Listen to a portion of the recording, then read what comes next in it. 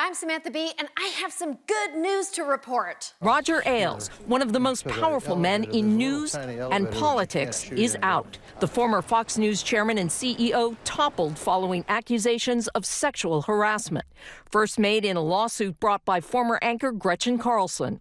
Then this week, reports that Fox star Megyn Kelly told investigators Ailes harassed her when she was a young correspondent in Washington. Congratulations, Roger. You finally achieved your ultimate fantasy getting fucked by two gorgeous employees at the same time. wow.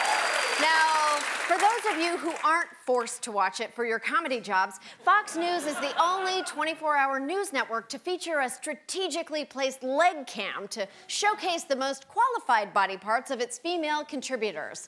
Plus, a daily women's show trading on the titillating tension between owning a harem and fear of emasculation. So, yeah, turns out the guy who runs that network is kind of a creep. Who would have guessed? Roger Ailes made Fox News an unstoppable powerhouse by discovering the secret to big ratings. What viewers really want is to be furiously angry while also having a boner. the anger part of the arousal was achieved through Roger's uncanny ability to take a thing that may or may not exist, put an ominous spin on it, and then force feed it to us all day like a foie gras goose until we were terrified. Fox News was his masterpiece, a right wing nightmare factory powered by white resentment and relentless misinformation, churning out propaganda 24 7 and making family Thanksgivings unbearable for 20 years. But now he's heaved his rancid bulk out of Fox HQ for the last time. Girl power!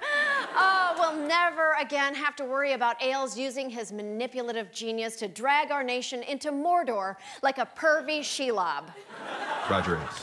Is he helping you? Is he advising you? Well, I don't want to comment, but he's been a friend of mine for a long time. Holy Christ, we're fucked.